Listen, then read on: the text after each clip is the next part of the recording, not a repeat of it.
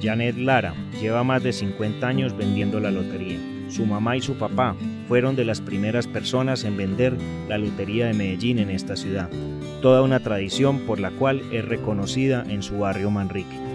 Como ella, muchos de los loteros ubicados en las afueras de nuestra sede les han dado suerte a miles de personas, pero lo más importante, la venta de lotería les ha permitido a ellos crecer como personas, darles educación a sus hijos y, como en el caso de Janet, conseguir su casa propia. En el sentido más profundo, el trabajo de estas personas es dar alegría.